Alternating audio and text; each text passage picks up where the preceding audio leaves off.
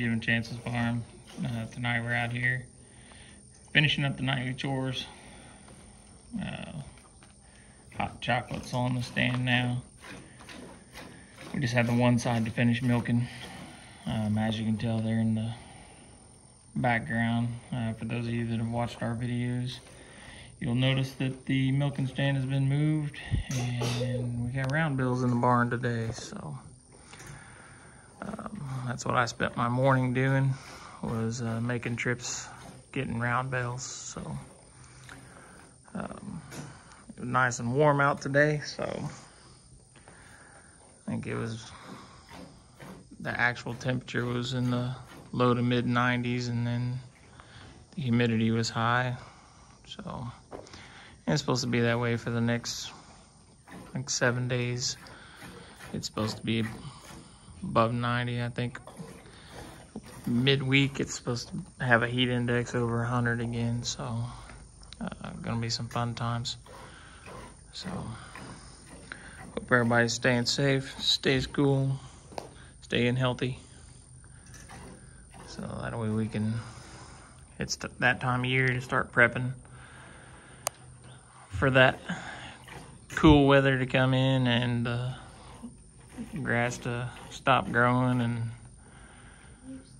hopefully it actually gets cold enough this year um, that the ground stays solid instead of being like a big old muddy mess like it was last couple of years. Uh, we're due around here for good snow. We got a couple last year, but not anything that lasted. So, but uh, we ended up bringing home total of nine round bales. So I've got one that's actually outside in the bale feeder because our pasture is it's still green, but it's the quality isn't quite there. So just to give them something that I know for a fact they can eat, um, it's out there. So and those are just grass round bales. So the one that's out there right now was a first cutting, and then. Uh, two of these are as well, and then the other six are was actually just baled yesterday. So, but we will get them eating what they need to eat. That way they can keep their body condition up and uh, make sure because we have some that'll calf in the fall. So want to make sure we don't interrupt any of that progress. So. And then here recently, we have been uh, had a few people contact us interested in purchasing some of our cattle. So we'll see where that ends up. Uh, basically, if we sell off the bull and some of the cow calves. Then we'll end up replacing them. Uh, if we sell off steers, we'll just let that replace itself. So, Michaela's done with the milking. We just got a Taylor. Can you spray her, please? Michaela, go ahead and you can head to the house with that so we can get it chilling.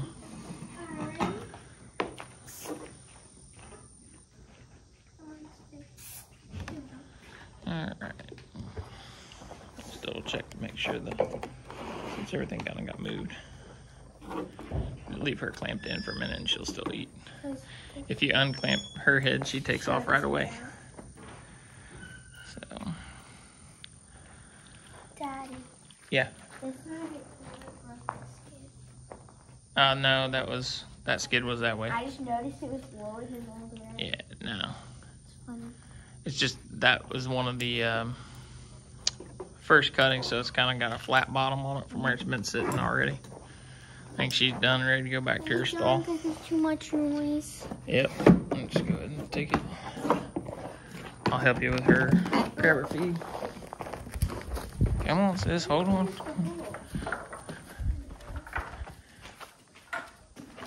Alright.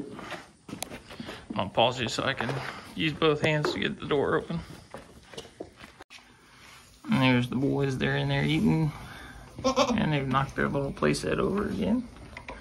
I kind of just push it around all over the stall. Kind of gives them something to do. Oh, you forgot to get the eggs. I think mom I know she got them this morning because we had eight duck eggs this morning. So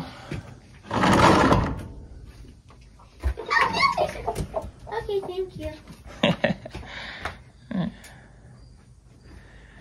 the chicken egg uh, production is coming back up again since we uh, reduced the amount of roosters the other day. ducks are laying there. and the ducks are laying better too because we actually we ended up uh, getting rid of 11 of the roosters that we had hatched out and then uh, a total of three of the drakes Use my digging tool. See if Yeah. so there are a few of them sitting up there yep right up there let's go outside and we'll take a look at the pigs Yeah. Got a little bit of chasing going on there. Everybody seems to be a little bit happier and getting along a little better since we uh, got rid of some of those roosters. So, and then we're still there's cows over there eating on the round bale feeder. And digging. There's our two rogue chicks. Those are the two that, uh, the last two that Katie hatched out. And they got used to sneaking out of this pen when they were smaller. Now they still do it, but they don't really want to go back in at nighttime like they used to and they're quick and hard to catch now. So they're kind of on their own. So, but hope everybody enjoys the videos. Don't forget to like, subscribe, share on social media with all your family and friends, and we'll see you guys on the next one.